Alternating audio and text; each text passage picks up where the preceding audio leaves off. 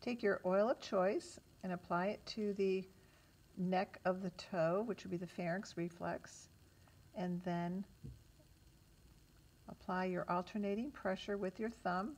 Make sure your working fingers are over the top of the holding fingers. Coming all the way around. If you need to work it the other way, make sure your working fingers are over the top of the holding fingers.